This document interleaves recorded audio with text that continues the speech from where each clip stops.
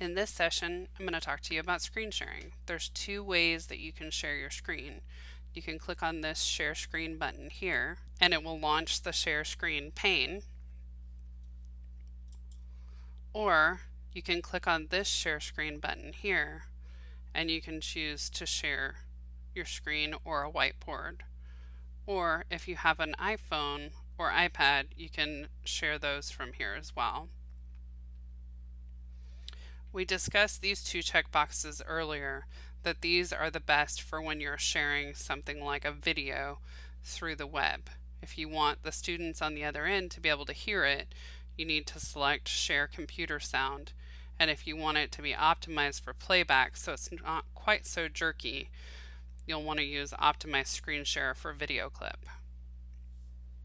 The first thing I'm going to talk to you about is the whiteboard. The whiteboard is a great function, especially if you're teaching remote. Now, by default, not sure why, it's shared and it's paused, so students on the far end would not see what you're drawing on the whiteboard. So you have to click Resume Share, and once you do that, the students will be able to see whatever you draw on the whiteboard. You can click Draw and choose a drawing tool. So if you're working through a math problem and you're really good with your mouse, you can do it this way. Alternatively, if you log into an iPad or a iOS device, you can choose to annotate with the pen tool. And it will actually identify who the person is that is drawing on the whiteboard.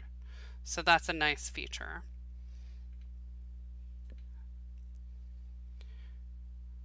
Remember, annotations is a feature that you have to set up for students to be able to annotate on the top of. So when you go to security, you would have to allow annotating on that shared content for those students to participate and draw. You can also share your screen and then annotate over the top of it.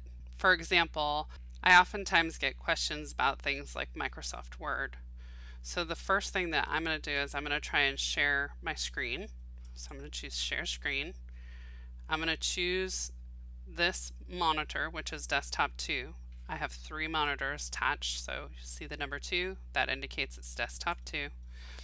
And then you'll see a blue border around it. That's a double indication that you've chosen the right screen. So I'm going to choose share and then I'm going to bring up my Microsoft Word. A lot of times these buttons are really tiny and hard for people to see. So you may decide that you want to annotate on top of it and draw something like maybe a box around a button. And you can do that very easily.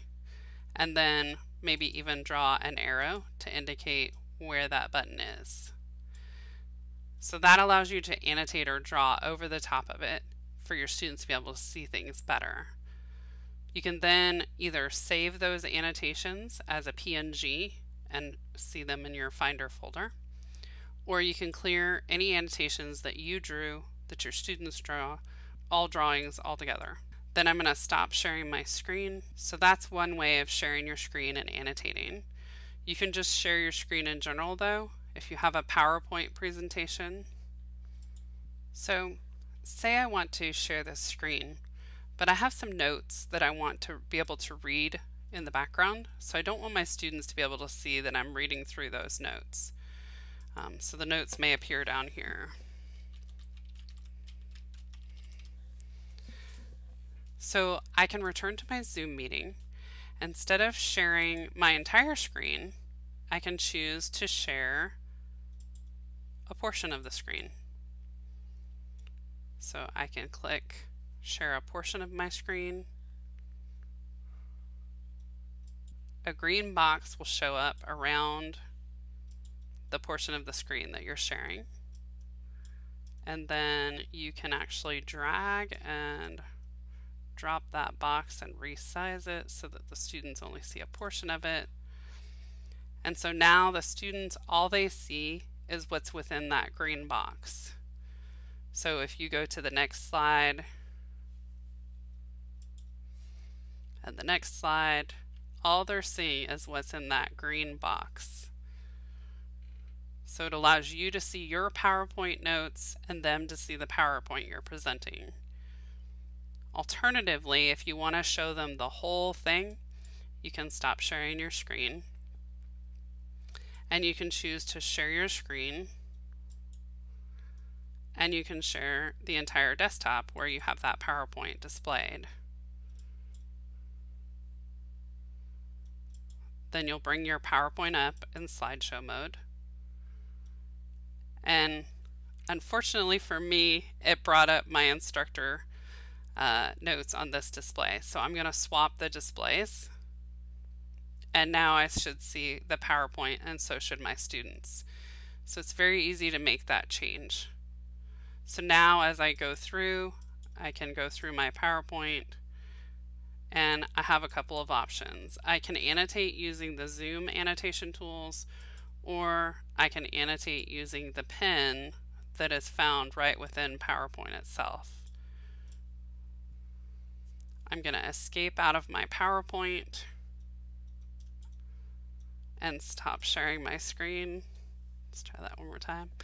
And if you annotated using PowerPoint, it'll ask you if you want to keep those ink annotations so that you can share them with your students later maybe. You can choose to keep them at this time or you can choose to discard them. Now don't forget that there is that new option where you can share your screen and instead of choosing to share your PowerPoint you choose advanced and you can choose slides as virtual background and when you click share you can find that PowerPoint that you want to use. Open it up, turn on your camera, and be superimposed on top of your PowerPoint as you're presenting. If the if you find that your video is in the wrong location, you can move it to the other side and continue presenting.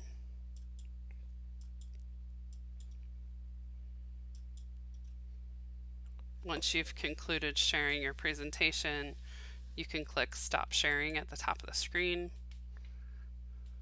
and it'll go back to just displaying your web camera, no content.